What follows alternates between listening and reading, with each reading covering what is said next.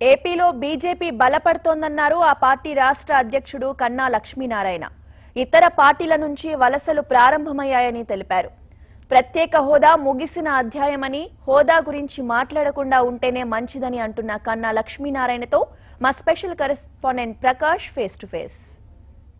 ప్రధాని పర్యటన తిరుపతిలో ఉన్న సందర్భంగా అన్ని ఏర్పాట్లు దాదాపు కూడా పూర్తయిపోయాయి.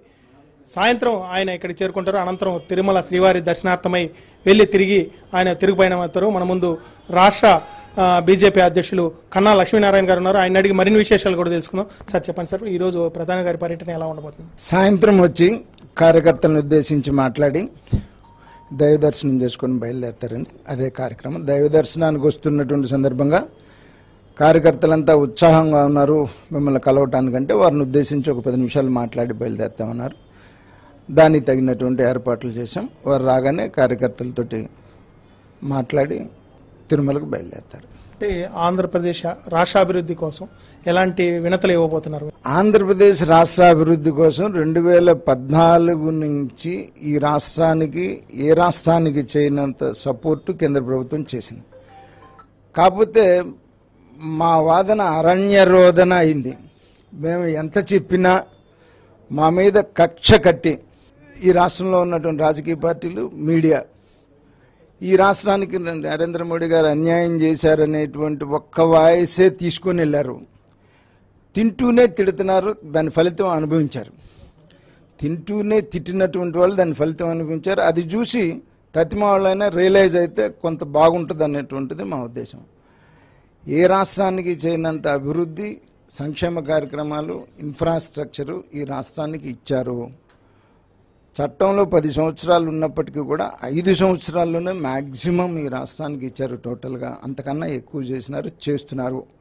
ఈ రోజున ఈ రాష్ట్రంలో ఏ అభివృద్ధి కార్యక్రమం జరుగుతున్నా అది కేంద్ర ప్రభుత్వం నిధులతో జరుగుతున్నటువంటి అభివృద్ధి కార్యక్రమమే తప్ప రాష్ట్ర ప్రభుత్వం నుంచి జరుగుతున్నటువంటి ఒక్క కార్యక్రమం చెప్పుకోవడానికి కూడా లేనటువంటి పరిస్థితి.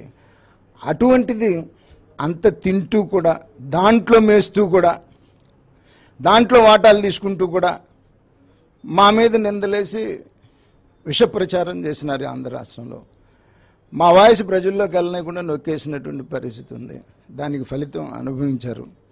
వాళ్ళని చూసి తతిమ వాళ్ళు రియలైజ్ అవటం కూడా మంచిదని నాకు ప్రత్యేక హోదా విషయం ఎంతవరకు? నేను రోజు గంట గంటకు అదే చెప్తున్నాం మీకు. గంట గంటకి చెప్పినా కూడా మళ్ళీ రెండో గంట అడుగుతున్నారు మమ్మల్ని. అది అది అది ఎగతాలే అది ఎగతాలే అయిపోతుందని. ఇప్పుడు మా స్టాండ్ చాలా కేటగారికల్గా క్లియర్గా చెప్పామండి. గంట గంటకి.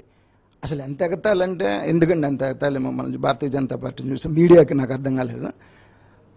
మీరు పొత్తు అంట కదండి. అసలు మాకెవరితో పొత్తు లేదంటే ఊరికి ఊరికి వెళ్ళినది మాట గంట గంట గంట వచ్చినది మాట ఇదే తిరుపతిలో ఒక వంద సార్లు అడిగాడు మీతో పొత్తు ఉంటుందంట కదా అని. ఉండదన్నా కూడా మళ్ళీ కనిపోకుండా అంత ఎగతాలు కూడా మంచిది కాదు అదే ఈ రాష్ట్రంలో మీ పార్టీని ఏ విధంగా బలోపేతం చెప్తాను సార్? ఈ రోజున అన్ని పార్టీల నుండి తెలుగుదేశం కాంగ్రెస్ జనసేన అన్ని పార్టీల నుంచి కూడా నరేంద్ర మోడీ గారి వైపు చూస్తూ ఉన్నారు.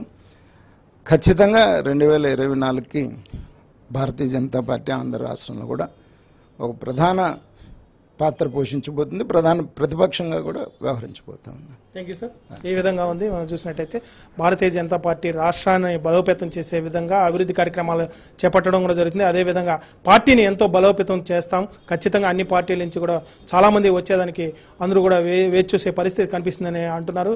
Vote studio.